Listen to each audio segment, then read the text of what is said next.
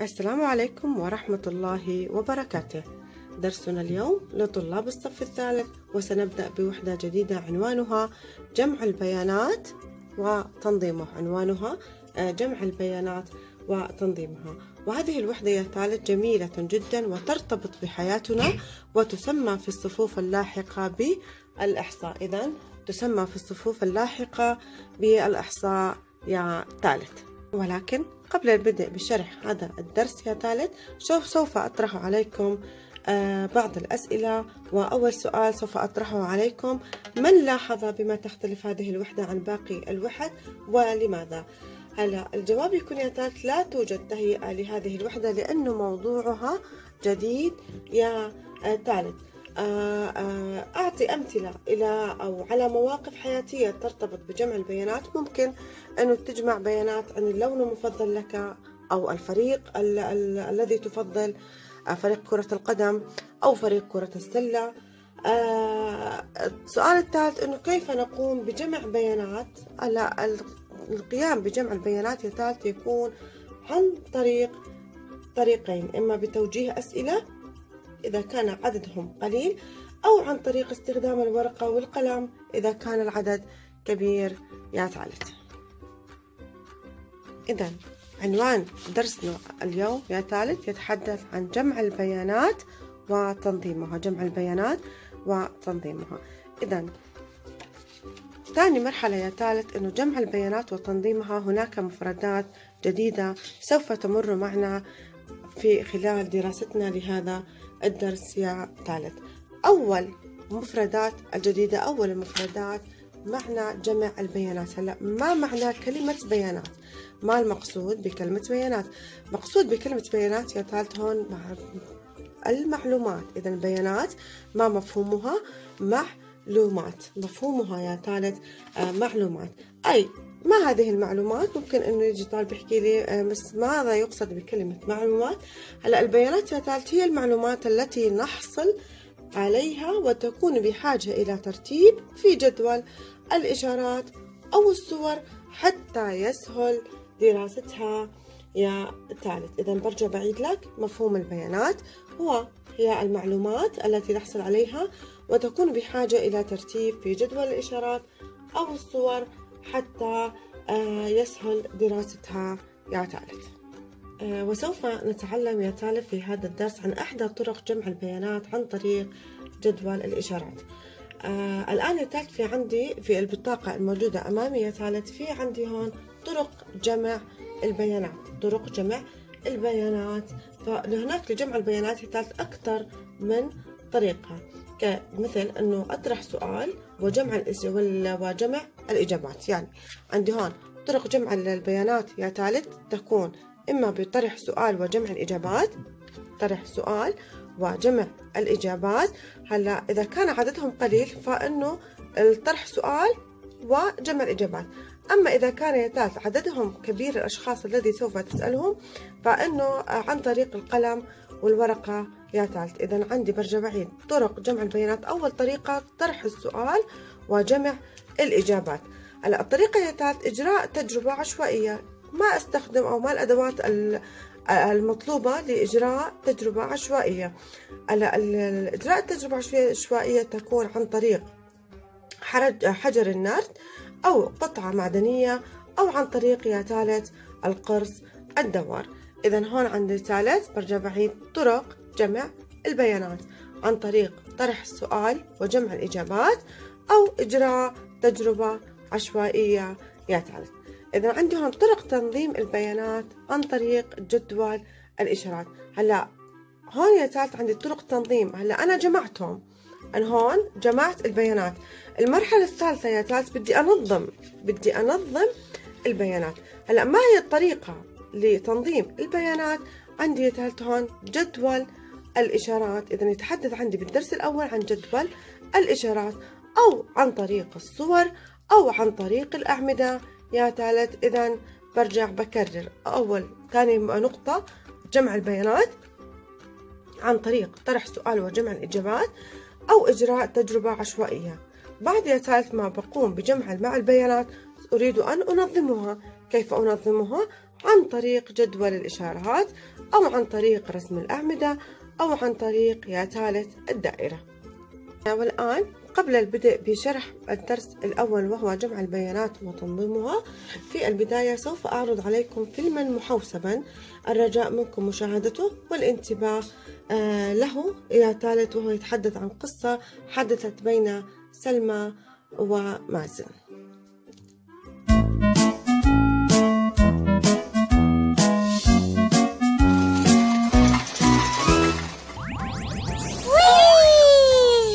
ما الذي تحملينه يا سلمى؟ لقد سألت اليوم أصدقائي في الصف أي نوع من البوظة يفضلون كي أحضرها لهم غدا للحفلة ورسمتها جميعا حتى لا أنسى أحدا انظر إنها كبيرة جدا أليس من الصعب أن تأخذيها معك إلى السوق؟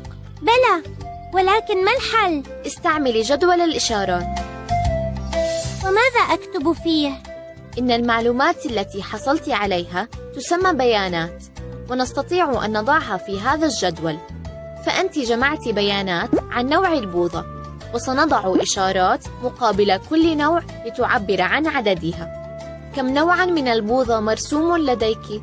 ثلاثة أنواع الفانيلا والفراولة والشوكولا. حسنا. لنقم بعد حبات البوظة بنكهة الفانيلا. واحد اثنان ثلاثة أربعة خمسة ستة سبعة ثمانية. عددها ثمانية. إذا سنضع ثمان إشارات مقابل نوع الفانيلا. ولاحظي أن الإشارة الخامسة مميزة فهي كالأم وتضم كل أربع إشارات معا. فهذا الشكل يعني خمسة. لقد عددت حبات البوظة بنكهة الفراولة إنها اثنتا عشرة حبة. إذا سنضع اثنتي عشرة إشارة مقابل نوع الفراولة خمسة وخمسة واثنتين. وباقي حبات البوظة بنكهة الشوكولا وعددها سبع حبات. إذا سنضع سبع إشارات مقابل نوع الشوكولا خمسة واثنتين. ها هو جدول الإشارات جاهز. لماذا نضع خطأ في كل مرة نعد فيها حبات البوظة؟ حتى لا نقوم بعد الشيء مرتين. وبذلك نضمن أننا عددنا كل الحبات من نفس النوع. نعم هذا أسهل بكثير. الآن أستطيع الذهاب لأشتريها دون أن أنسى أحدا أو يبقى أحد بدون بوظة. شكرا يا قيس ويا أزرق.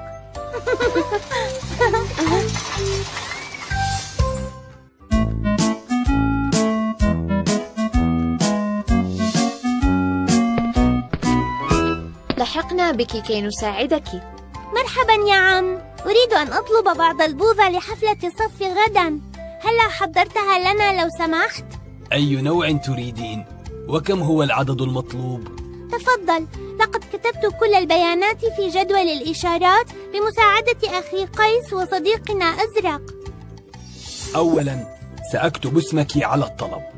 طلبية البوظة لصف سلمى. إذا تريدين ثمان حبات بنكهة الفانيلا. هذه الآلة يا عم. هذه الآلة تمثل البيانات باستخدام الأعمدة فتسهل علينا قراءة البيانات. فترسم عمودا عند النوع المطلوب وارتفاعه يبين العدد المطلوب من هذا النوع. إذا العمود عند صورة البوظة بالفانيلا يرتفع حتى يصل بمحاذاة العدد ثمانية. أي أننا نريد ثماني حبات من هذا النوع. ما أجمل هذه الطريقة؟ أها وتريدين اثنتي عشرة حبة بنكهة الفراولة وسبع حبات بنكهة الشوكولا. تماما هنا ارتفع عمود فوق صورة الفراولة حتى العدد 12 وارتفع عمود آخر فوق صورة الشوكولا حتى العدد سبعة. هكذا نكون قد مثلنا كل البيانات بالأعمدة. من تمثيل البيانات التي لدينا بالأعمدة يمكنني أن أعرف من الرسم نوع الفاكهة المفضلة لدى الأولاد وأيها أقل تفضيلا. وبناء عليه أزيد من إنتاجي للنوع المفضل وأقلل من النوع غير المفضل كي لا أخسر. نعم من السهل قراءة البيانات هكذا من خلال النظر فقط. حسنا يا سلمى سأحضر لك طلبك غدا وهذه هدية لكم. شكرا, لك يا عم. إلى إلى اللقاء. اللقاء آه والآن بعد مشاهدة آه الفيديو سنذهب معا لنقرأ أسئلة الكتاب ونتعرف إلى محتواها. آه نفتح الكتاب يا ثالث مع بعض. عند الوحدة الجديدة. إذا آه قم بفتح كتابك يا ثالث على صفحة ستة وثمانون. إذا عندي درسنا يتحدث عن جمع البيانات وتنظيمها. آه عرفنا يا ثالث أنه المفهوم البيانات آه وهي المعلومات التي يحصل عليها وتكون آه بحاجة إلى ترتيب في جدول الإشارات أو الصور حتى يسهل علينا دراستها. سوف نقوم بقراءة التدريب. أنا وأنت إن شاء الله. آه، سأل معلم الرياضيات طلبة الصف الثالث عن أحد أنواع الفاكهة التي يفضلها كل طالب من بين الأنواع الآتية عنب أو موز رمان فكانت إجابتهم كما يأتي. إذا أنا معلم الرياضيات. طلبة آه، سأل آه، طلبة الصف الثالث عن الفاكهة التي يفضلونها. فكانت هاي الفاكهة من ضمن آه، عنب وموز ورمان.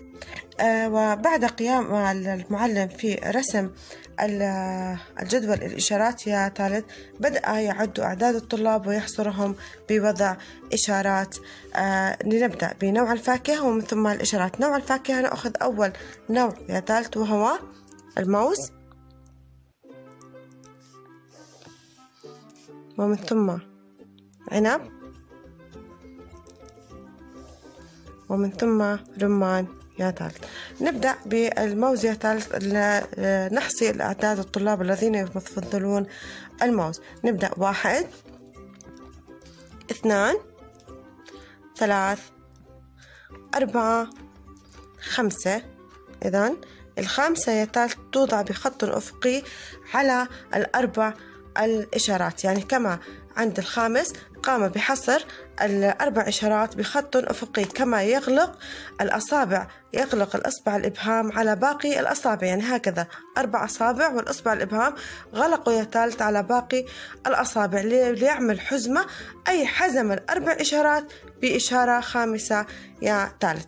إذا نعيد. واحد اثنان ثلاث أربعة خمسة ستة سبعة ثمانية تسعة عشرة العاشرة أيضا حزمة واحدة وإحدى عشر. إذا الموز نحصيهم من هون. واحد اثنان ثلاث أربعة خمسة ستة سبعة ثمانية تسعة عشرة إحدى عشر. آه نأتي على العنب واحد اثنان ثلاث أربعة خمسة ستة سبعة. كيف بدي أكتب؟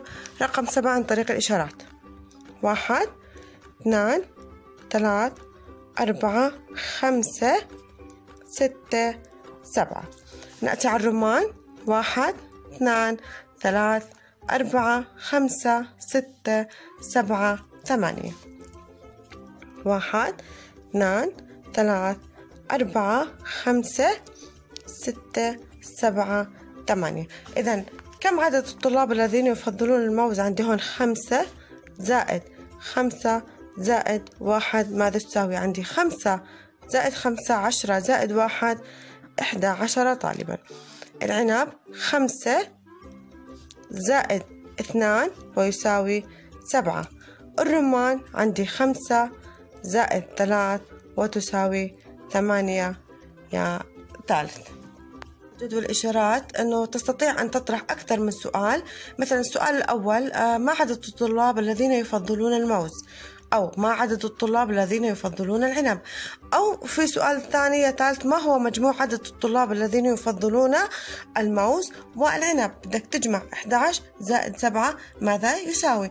أو ممكن في عندك تطرح سؤال آه، آه، من آه، أو ما أكثر ما هي أنواع الفاكهة المفضلة لدى الطلاب؟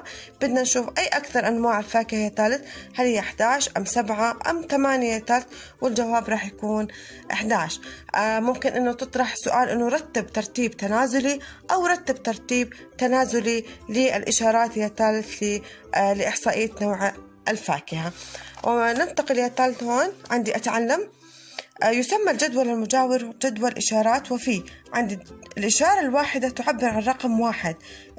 ثلاث إشارات تعبر عن ثلاث. الخمسة هون يا ثالث الأربعة والخامسة الأفقية تعبر عن خمسة. دائما يا ثالث عندي لما بوصل عندي واحد اثنين ثلاث أربعة عندي خمسة. الخمسة ما بصير أحطها هون لا يا ثالث. يجب حزم الأربعة فيها. هون يا ثالث إشارات أو رقم خمسة يا ثالث. هلا كان المعلم يسأل الطالب عن نوع الفاكهة المفضلة لديه ثم يسجل في الجدول أمام النوع إشارة لهذا النوع حتى أنهى الطلبة جميعهم. أجب عن الأسئلة الآتية ما عدد الطلبة الذين يفضلون الماوس نرجع على الدفتر يا ثالث. كم عددهم؟ إحدى عشر طالبا. بكتب إحدى عشر طالبا. ما عدد الطلبة الذين يفضلون الرمان؟ نرجع على الجدول. كم عددهم؟ ثمانية. آه السؤال الثالث. أي نوع من الفاكهة يفضلون الطلبة أكثر؟ هلأ هون ثالث سؤالي عن أي نوع من الفاكهة. أنا هون بدي أنا اسم الفاكهة ما بدي أكتب الرقم بدي نوع الفاكهة. هون التمييز بين نوع الفاكهة أو عدد الإشارات. أي نوع من الفاكهة هون يا ثالث أي نوع من الفاكهة يفضلون؟ آه، هون يا ثالث الموز. بما آه، بكم يقل عدد الطلبة الذين يفضلون الرمان عن عدد الطلبة الذين يفضلون الموز. هلا هون يا ثالث كلمة بما يقل هون طرح. ما هي؟ طرح يا ثالث أي عندي الطلاب الذين يفضلون الموز 11 11 طالبا. ناقص الذين يفضلون الرمان ثماني طلاب. ماذا يساوي؟ بدي أطرح. 11 ناقص 8 ويساوي ثلاث طلاب. هلا هاي الثلاثة ثالث إيش هي الفرق بين الفرق في عدد الطلبة الذين يفضلون الرمان عن الطلبة الذين يفضلون الموز. ما عدد الطلبة في الصف كاملا؟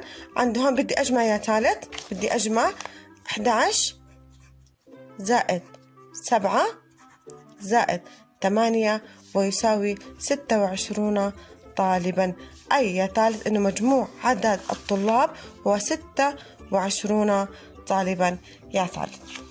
عند هون المثال اللي بعده ترشحت هند وفاطمة وجوان لرئاسة أسرة الصف. صوتت الطالبات عن طريق كتابة أحد الأسماء على ورقة ثم فرغتها المعلمة على السبورة فحصلت على النتائج الآتية. عندي هون هند أكمل تنظيم البيانات في الجدول الآتي. بدي أول اسم عندي يا ثالث اللي هو اسم المرشحة هند. إحنا كتبنا اسم المرشحة والإشارات هلا عندي مرشحات هم هند وفاطمة وجوان. هون يا ثالث عند القائمة الثانية عدد الأصوات التي حصلت عليه الطالبات الثلاث. بدنا نحصيهم مع بعض يا ثالث. عندي هند. بنشوف كم طالبة انتخبت أو صوتت على هند. واحد اثنان ثلاث أربعة خمسة خمسة. إذا عندي هند واحد اثنان ثلاث أربعة خمسة. إذا هند حصلت على خمسة أصوات. فاطمة واحد اثنان ثلاث أربعة خمسة ستة سبعة ثمانية تسعة. إذا فاطمة حصلت على تسعة أصوات. واحد اثنان ثلاث أربعة خمسة. ستة سبعة ثمانية تسعة. إذا آه نأتي على جوان. واحد. آه نكمل يا ثالث وصلنا عند صفحة تسعة وثمانون. آه أقرأ المثال. طلب معلم العلوم إلى طلبة الصف الثالث إحضار ثمار برتقال خضراء اللون وثمار برتقال صفراء اللون لعرضها في حصة العلوم التي تتناول الثمار الناضجة والثمار الغير ناضجة. إذا المعلم ماذا طلب في حصة العلوم؟ عن إحضار ثمار البرتقال خضراء اللون و صفراء اللون. خضراء اللون تدل على أن الثمار غير ناضجة. أما صفراء اللون تدل على أن الثمار ناضجة. يا آه، ثالث. صمم المعلم جدول وبين فيه المعلومات المعطاة. عندي هون مثل ما عودتك أو مثل ما تعلمنا يا ثالث نقسم الجدول إلى قسمان. العمود الأول ومن ثم العمود الثاني. العمود الأول يتحدث عن لون الثمرة العمود الثاني عن الإشارات. لون الثمرة يا ثالث هون أخضر و أصفر. بدنا هون ثالث آه نجب عن الأسئلة التالية. آه قبل ما نجب عن الأسئلة التالية بدي هون آه أجمع البيانات لأحصي كم آه برتقالة خضراء وصفراء. الأخضر كم؟ واحدة اثنين ثلاث أربع إذا عندي أربع حبات من البرتقال الأخضر. الأصفر واحد اثنان ثلاث أربع أيضا واحد اثنان ثلاث أربعة. عندي هون ما عدد الثمار الخضراء؟ أربعة. ما عدد الثمار الصفراء؟ أربعة. أيهما أكثر الثمار الخضراء أم الصفراء؟ أيهما أكثر يا ثالث؟ متساويان